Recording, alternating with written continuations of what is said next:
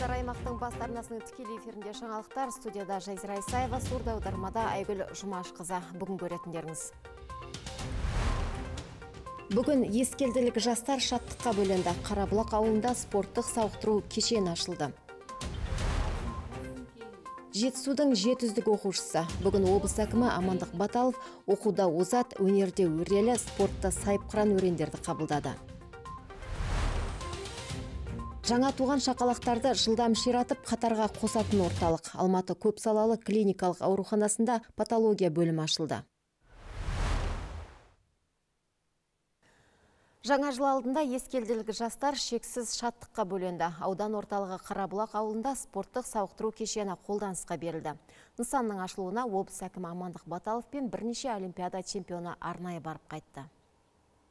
Қарабұлақта қатқан фок салынды. Ескелділік жастар осылай деп желпініп жүр. Жөні бар, ауданда мұндай спорт кешені бұрын соңды болып көрмеген. Топтасып келіп жатыр, көріп жатыр. Қуаныштары шексіз иә бұл өте қуанышты жағдай бұндай ғимарат ауданымызда бұрын соңды болмаған мен де менің достарым да ауданның жастары спортпен шұғылданады облыстың әкіміне аудан әкіміне айтар алғысымыз шексіз енді бүгінгі күннен бастап осы салынған спорт кешенінде секцияларға жазыламыз ересектерде балаша қуанып жүр суретке түсіріп сүйіншілеп ватсаппен жан жаққа жіберіп жатқандар бар. Мына тұрған азаматтар қарабұлақтық құрылысшылар. Ауыл ел бесігі бағдарламасымен жұмысқа тартылыпты. Үлкен іске кішкентай болса да үлес қосқандарына мәз жігіттер көп болды мына. Еш көрместен осы қарабақтан осының басынан бастап осы аяғына шейін осы құрылысты аяқтадық. Құрылыс сапалы өтті. Енді өзіміздің балаларымыз немелеріміз енді осында келеді. Қуаныштымыз осындай ескелді ауданы қарабұлақ поселогында осындай жаңа спорт кешенінің ашылып жатқанына Бұл Алматы облысы бойынша 10-шы спорттық сауықтыру кешені облыс әкімі арнайы келді, ашып берді. Ырымдап қасына үш олимпиада чемпионын ерте келіпті. Жұғысты болсын дегені. Жетісу өңірінде тағы да қуанышты жағдай болып жатыр. Жаңа жылдың алдында мен әр жүрген жерінде айтып жүремін, мақтанышпен айтамын. Бұл елбасының тапсырмасы президентіміз қасым жомарт кемеловтің тапсырмасы әр осындай үлкен орталықтарда мынау спорт кешендерін салу. Біз қазіргі кезде онын салып бітіріп іске қосып жатырмыз. Қазір бақанаста уже дайын практически жылдың басында. Анау нарынқолда содан кейін көксу ауданында дайын тұр. Осы жерге міне жастар келеді спортқа жақын болады. Жаңа айтып жатырмыз ғой мәулен бауырым нұрбақыт мерей осындай жігіттер шығады осылардың арасынан. Соған құдай жеткізсін. Иә аман есен болайық әрқашан осындай қуанышта кездесе берейік. Кешен үш блокты аумағы төрт жарым мың шаршы метр. Жоба құны бір миллиард теңгеден асады. Межелі жұмысты құрылысшы тбс серіктестігі жасады. Стадионды қоса жаңартты. Жақсы салыпсыңдар деп жатты аймақ әкімі. Көрімдігіне hyundai көлігін берді. Балаларды жарысқа тасымалдайды. Тасыған көңілмен көпшілік лентасында кесті. Шашу шаттықты еселеді. Қошеметтеп қойсаңыздар. Құтты болсын. Ғимарат күніне 500 спортшы қабылдауға сыйымды. Басты залы әмбебап. Волейбол баскетбол гандбол бадминтон шағын футбол мен теннис алаңына айналып шыға келеді. 124 көрермен орны бар. Алғашқы ойын құрметі ардагер волейболшыларға беріліпті. Амандық баталовтың да сүйікті спорт түрі. Ойынды бастау жолы да кәнігі спортшы ретінде әкімге берілді. Спортта да қызметте де жолды азамат.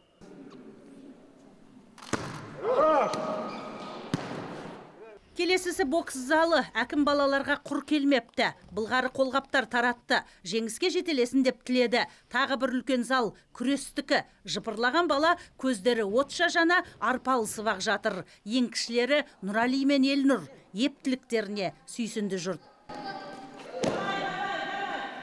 Мен жақсылық ата дәулет ата мәулен ата сияқты чемпион боламын.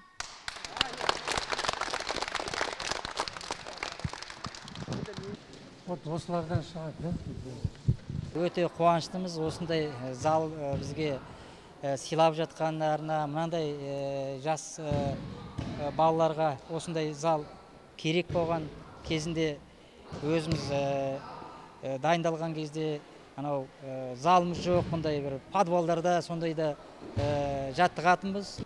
Енді мынандай қымбат кілемдер балаларға арналған арнайы жаңағы лақтыратын чучелолар міне добына дейін штангысына дейін бәрін сыйлап жатыр енді рахметтен басқа айтатынымыз жоқ сол.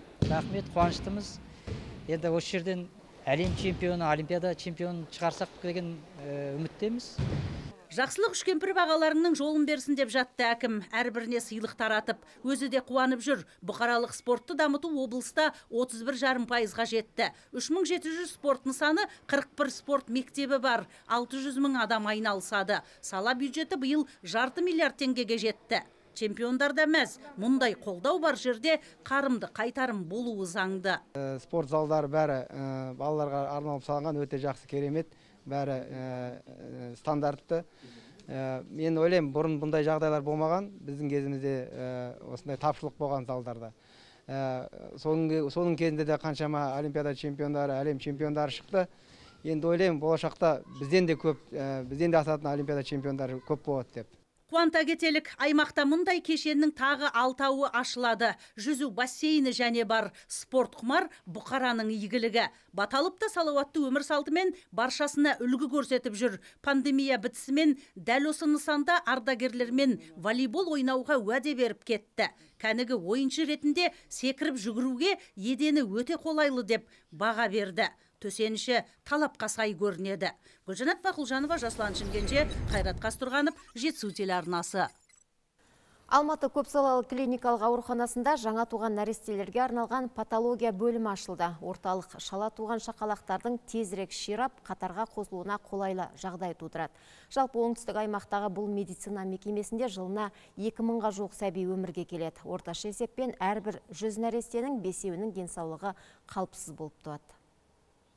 Бұл ауруханада осыған дейін патология бөлімі болмаған. Ауыр жағдайда босанған аналар мен шала туған нәрестелерді қаладағы балалар ауруханасына немесе арнайы ғылыми орталықтарға жөнелтуге мәжбүр еді. Бұдан былай бұл өзекті мәселенің түйіні осы жердің өзінде шешілетін болды.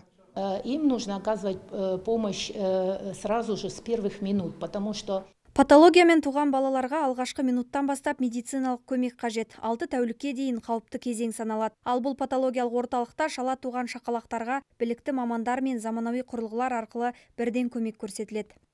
Жаңашылған патология бөлімінде медициналық көмекке жүгінгендердің бірі егіз ұлдың анасы Назым Сердалиева. Сарыөзек ауылының тұрғыны үшінші жүктілігі Данияр мен Мадияр жеті айлығында өмірге келді. Ал қазір шала туған шақалақтардың жағдайы көңіл қуантады.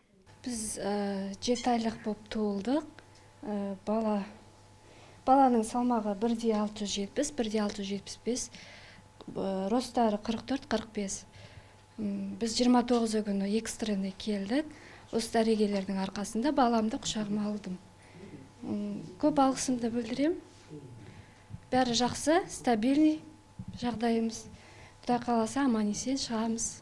Облысқа қарасты алматы көпсалалы клиникалық ауруханасына оңтүстік өңірдегі 1 миллион 300 мыңнан аса тұрғын жүгінеді. Осыдан ақ аурухана арқасындағы жүктің салмақты екенін аңғару қиын емес. Мұнда тәулігіне орташа 5-те 6 сәби өмір есігін ашады. Ал патология бөлімінің ашылуы ең әуелі бала өмірін сақтап қалу үшін мол мүмкіндік болды дейді сала мамандары. Для того чтобы повысить качество медицинской помощи мұнда бастысы біз сапалы медициналық көмек көрсете аламыз. Мұнда ультрадыбыстық зерттеу аппараттары жасанды тыныс алу құрылғылары және басқа да құрал жабдықтар жетерлік. Ана мен бала денсаулығын үнемі өз бақылауында ұстап отыратын облыс әкімі амандық баталовқа алғысымыз шексіз. Биыл аурухана жаңа медициналық құрылғылармен толыға түсті. Мұнда ана мен баланың денсаулығы сәбилердің ақаусыз өсіп жетілуі басты назарда. Аталмыш бөлім 10 орынға шақталған. Қазір 10 нәресте ақ халаттылардың бақылауында ширап жатыр. Құрманжан қасымжанұлы аманжол жомартұлы жетісу арнасы.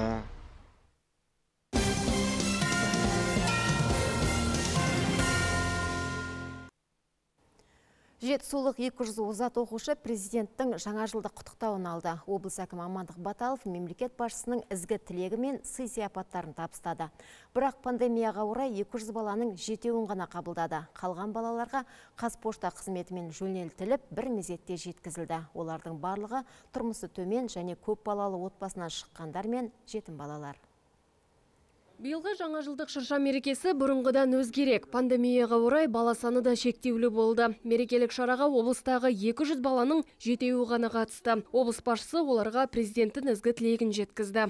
Біздің мемлекет басшымыз Қасым Жомарт Кемелұлы арнайы мына жаңа жылдың алдында өзінің құттықтауын жіберіп сіздерге жақсы оқыңдар мынау келе жатқан жаңа жыл қуаныш бақыт жақсылық әкелсін деп сондай құттықтауын жіберіп отыр келесі жыл сіздерге жақсылық әкелсін Жетісудан жеті оқу үздігі. Әрқайсында оқудан, спорттан, өнерден жетістігі бар. Өз орталарында топ жарған озаттар, аудандық, қалалық, республикалық байқауларда биік шыңға шыққан оқушылар. Олар өмірдегі қиындыққа қарамастан болашаққа деген үміті зор. Мақсат білім алып, ел дамуына үлес қосу. Мерекелік шара барысында оларға бағалы сыйлықтар табысталды.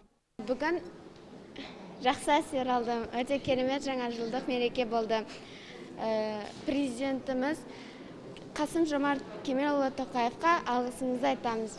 Президентке қасым жомарт тоқаевқа көп көп рахмет.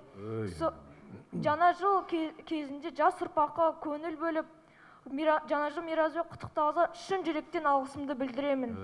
Жаңа 2021 жылда жағымды жаңалықтар аспанымыз ашық болып заманымыз тыныш болсын. Мен қуаныштымын осы шыршаға келгеніме. Жаңа жылды құттықтау шарасында ерекше қамқорлық пен жылулықты сезінгендердің бірі Рауза Хамзина. Ол көп балалы отбасынан шыққан, 5 сынып оқиды, мектепте белсенді, дзюдо спортымен айналысады. Жаңа жыл мерекесінде таңғажайып күтетін ол бүгін өңір басшысымен кездесіп, көз жасына ерік берді.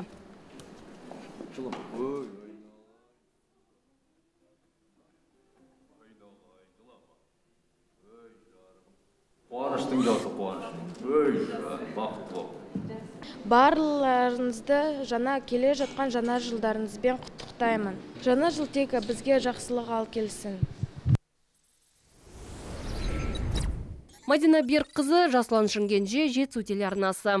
Ата ана қамқорлығынсыз қалған балаларға арналған президент сыйлығы аудан ауылдарға да табысталды. Жаңа жыл қарсаңында жасалған игілікті іс оқушыларға ерекше қуаныш сыйлады.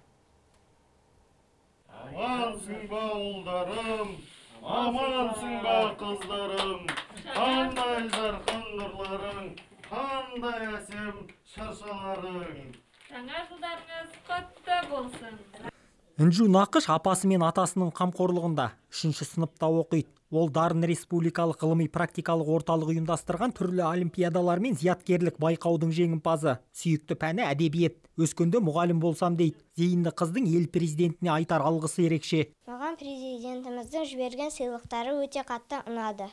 Жаңа жыл армандар орындалатын жыл болсын. Еліміз тыныш болсын. Президентіміз қасым жомарт тоқаевқа алғысым шексіз.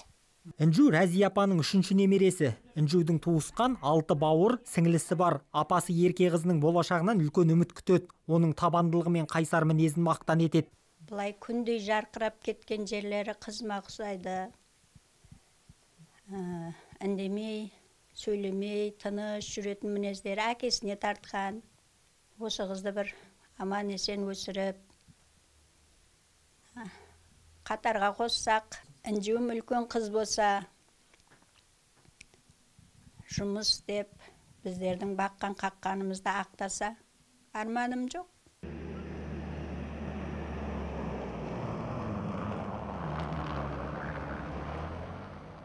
Президенттің жаңа жылдық сыйлығы әнуар серікұлына да жеткізілді. Әнуар іле аудандық молдабеков атындағы номері алтыншы орта мектепте оқиды. Оқу озаты. Математика пәнінен аудандық облыстық сайыстардың жүлдегері. Алтын сынып оқушысы спортпен айналысқанды жақсы көреді. Жаратылысынан елгезек ол үйдегі бауыр қарындастарына қамқор. Көпке жақсылық жасағанды ұнатады. Маған бүгінгі тосын сый қатты ұнады. Мен бұны тіптен күтпегенмін. Маған өзімнің армандап жүрген куртка келді. Кроссовки да ұнады. Көптеген кәмпиттер әкелді. Президентіміз қасым жомарт кемелұлына алғысым шексіз. Әнуар қазіргі уақытта әпке жездесінің қамқорлығында бірінші сыныптан бері сабағын тек беспен оқып келеді. Алға қойған мақсатына жеткенше тынбайтын қасиетке ие. Актер программист болсам деген асыл арманы бар. Аталған мереке қарсаңында президент сыйлығы ескелді ауданына да жеткізілді. Алты жетім балаға сый сияпат жасалды. Биыл жылдың ерекшелігі біз осы балаларымызды үйді үйлеріне акционерлік общество жаңағы почта торабыменен бірігіп аралап осы сыйлықтарымызды өткізіп береміз аяз ата мен ақшақар бүгінгі күнге пцр тесті өткен жаңағы барлық санитарлық нормаларды сақтай отырып біз балаларымызды қуантуға дайынбыз. Бала қуанышты болуға бақытты болуға лайықты. Жалпы мұндай шара балалардың көңіл күйін көтеру мақсатында ұйымдастырылып отыр. Жылдағыдай дәстүрлі жасыл шырша мерекесі өтпесе де олардың жүректеріне жылылық ұялату. Медет жұмабай абылай құттықбай аманжол жөнкешев жетісу телеарнасы. Бүгін талдықорғандық өрендер де қала әкімінің қабылдауында болды. Жылдағыдай көп емес, бұл жолы салтанатты шараға шақырылғандар санаулы. Аз қамтылған көп балалы отбасылардан оннан аса бала қатысты. Түрлі ертегі кейіпкері болып киінген кішкентайларды алдымен шаһар басшысы жаңа жылдармен құттықтап, жылы лебізін білдірді. Артынша әрқайсысына аяз атадан сыйлықтар үлестіріп, көңілдерін марқайтып тастады. Бұдан бөлек қала бойынша 200-ден аса оқушыға мерекелік сыйлықтар таратылды. Жаңа жыл мен үшін жақсы мейрам. Онда мен аяз атаны көремін және де аяз атадан сыйлық аламын. Билейміз тақпақ айтамыз. Мен жаңа жылды қатты күттім. Жаңа жыл бұл менің ең сүйікті мерекем. Өйткені жаңа жылдың түнінде нағыз ғажайыптар болады. Бұл кезді біз асыға қуанышпен күттік. Маған желтоқсан айының соңында қалалар мен көшелердің шамдарымен жанғандары ұнайды.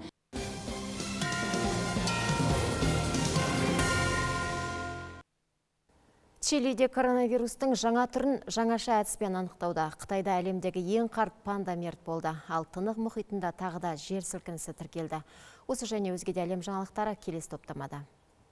Тынық мұхиты тынбай тұр. Мұнда тағы магнитудасы 5-8 балдық жер сілкінісі болды. Мамандардың ақпарынша қазір тынық мұхиты ең қауіпті сейсмикалық аймақ деп танылуда. Аралдар мен көрші мемлекеттерде цунами қаупіне қатысты төтенше жағдай жарияланды. Зілзала кіндігі Акапулько қаласынан оңтүстікке қарай 1015 шақырымда болған, ал ошағы 25 шақырым тереңдікте орналасқан. Әзірге зардап шеккендер мен қирандылар жайлы ақпарат жоқ.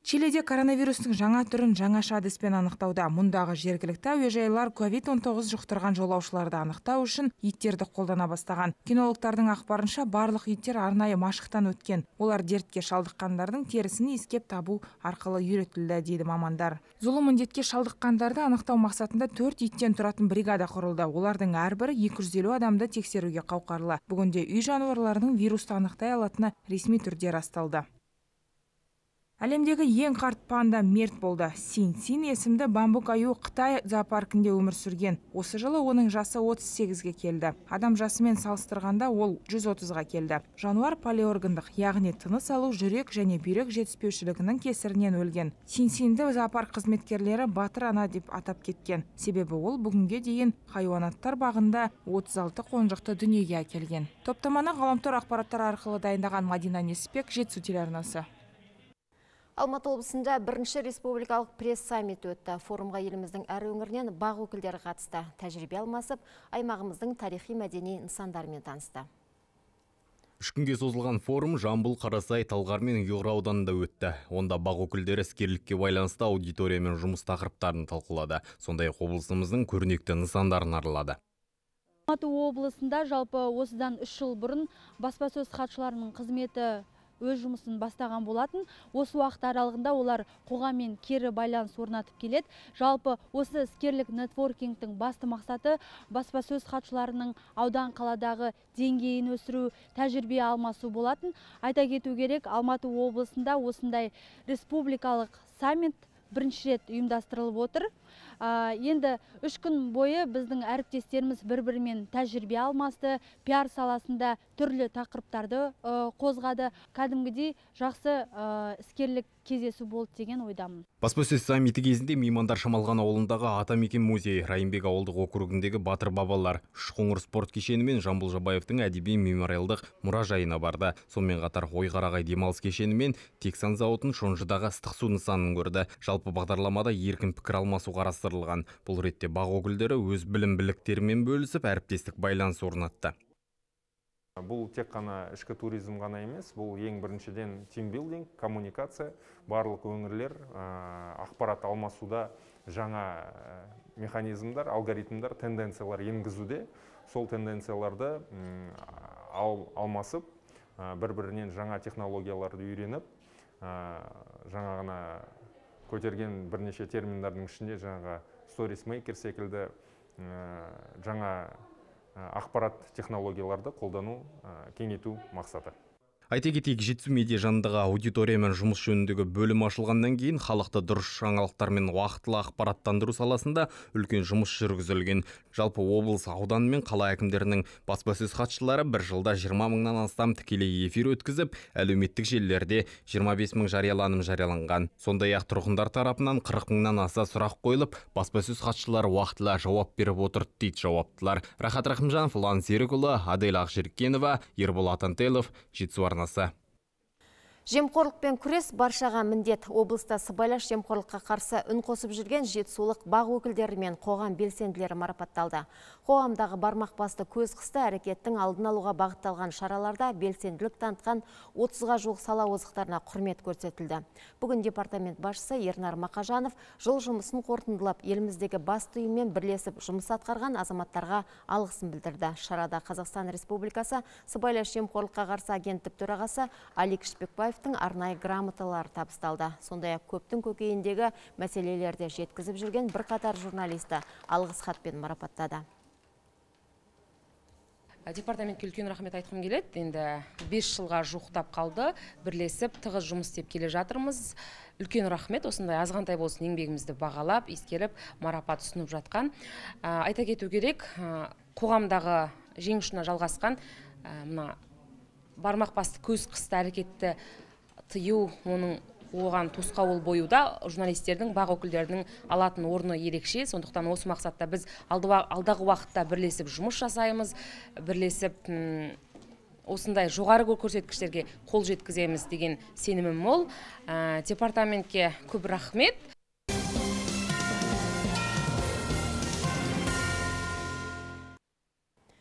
Талғар ауданындағы Алатау стадионында биатлоннан Қазақстан кубок үшін жарыс өтіп жатыр. Оған жүзге жуық спортшы қатысып, өзара мықтыларды сарапқа салуда. Бұл шара атлеттер үшін аса маңызды. Өйткені жеңімпаз атанғандар ел құрамасына алынады. Артынша халықаралық турнирлерде шеберлігін сынауға мүмкіндік алады. Қазақстан кубогына еліміздің үздіктеген биатлоншылары жиналды. Олар Олимпиада бағдарламасына енген барлық қашықтық бойынша күш қарымын сынап жатыр. Мамандардың айтуынша спортшылар жарысқа жақсы дайындалған, әрқайсысының шеберлік деңгейі өскен. Перспективные спортсмены, которые Осы жарыста біз жоғары дайындық деңгейін көрсеткен спортшыларды іріктеп алып, келер жылы өтетін әлем кубогіне дайындаймыз. Сонымен қатар құрлық аралық жарыстарға қатысып, тәжірибесін арттырмақпыз. Қазақстан кубогы үлкен бәсекелестікпен өтіп жатыр. Жарысқа еліміздің әр аймағынан оннан аса команда келіп қатысып жатыр. Ұжымдық есепте бас жүлде үшін негізгі тартыс Ақмола, солтүстік және шығыс қазақстандық биатлоншылар арасында өтеді деп күтілуде. Сайыс барысында жетісу өңірінің өрендері де бұл тізімге еніп бәсекелестікті күшейтіп отыр. Жерлестеріміз аралас эстафета додасында қола жүлдеге қол жеткізді. От нашей области. Жарысқа Алматы облысының ерлер құрамасын Әсет Дүйсенов, Ержанат Қуандық, Иван Ручев және Вячеслав Васильев жасақтап отыр. Надежда Пивоварова, Милана Генева, Яна Чупик, Валерия Мироновалар болса, әйелдер арасында үздіктерін анықтайды. Олардың барлығы Қазақстан біріншілігінің жеңімпаздары мен жүлдегерлері. Барлығына үміт артамыз. Сенімді ақтайды деп отырмыз. Өйткені жақсы дайындықтан өтті. Алматы облысындағы алдыңғы қатарлы спортшылардың бірі Әсет Дүйсенов былтыр дүниежүзілік универсиада ойындарында шаңғышылар бәсекесінде күміс жүлдегер атанған. биыл биатлонға ауысыпты. 10 шақырымға созылған спринт бәсекесінде екінші болып жарысқа түсті. Шаңғымен жүгіруде алдына жан салмады. Алайда мылтық атуда сүрінді. Атқан 10 оғының төртеуі ғана нысанаға дәл тиген. Дегенмен мамандар оның көрсеткішін жақсыға бағалап отыр. Өйткені бұл әсеттің бірінші жарысы және мылтық ұстағанына екі ай ғана уақыт болған. Кеше эстафетада біз үшінші болдық жақсы атқан айтуға қиын болады. Үшінші келуге тырыстық. Бүгін бүгін алты промахпен жүгірдім. Бесінші болып сол атуды жөндеу керек. Тренерлармен бірге сөйлесіп. Келесі жарысқа дайындаламыз. Жарыс қысқы спорт түрлеріне арналып әлемдік стандартқа сай салынған алатау стадионында өтіп жатыр. Мылтық асынған шаңғышылар бәсекесін тамашалауға елена хрусталева да арнайы келіпті. Ванкувер олимпиадасының күміс жүлдегері ізбасарларының аяқ алысын қарап көңілі толатындығын айтады. Өзі де осы спорт алаңында 2011 жылы өткен азияда ойындарында жеңімпаз атанған еді. У нас в команде происходит э, қазіргі күні командада ересек спортшыларды жастар алмастырып жатыр. Олардың алаңсыз дайындалуына барлық жағдай жасалған. Әлемдік турнирлерге қатысуға да жол ашылды. Еш кедергі жоқ. Тек еңбектеніп жеңіске жетуге талпыну қажет сонда ғана нәтиже болады. Бұл жарыстан болашағынан зор үміт күттіретін жастарды байқадым. Ол мені қуантты. Жақын күндері жақсы жетістігімен жанкүйерлерін де қуантады деп ойлаймын. Спринт бәсекесінде шығыс және солтүстік қазақстан облысының спортшылары жүлдегерлер тізімінен көрінді. Қыздар арасында жетісулықтар қола медальға қол жеткізді. Ел біріншілігі апта соңына дейін жалғасады. Жерлестеріміз командалық есепте үздік үштіктен көрінуді жоспарлап отыр. Жарқын нұрланұлы ғабит қабдырахманов жетісу телеарнасы талғар ауданынан. Қымбатты көрермен бүгінге келіп түскен ақпараттар легі осындай. Назарларыңызға рахмет. Амандықпен жүздескенше.